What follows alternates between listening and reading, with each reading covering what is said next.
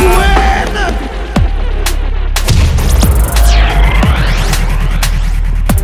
Will make your skin out your. Mm.